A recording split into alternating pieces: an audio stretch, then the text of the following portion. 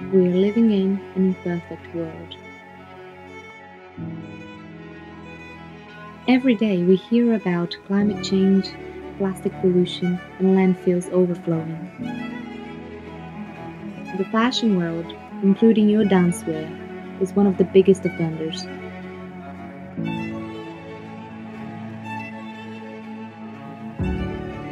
But there is another way.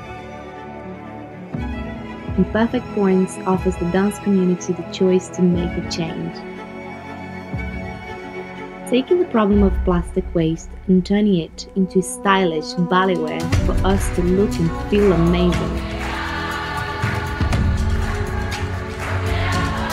From landfills to leotards, let's together make the change.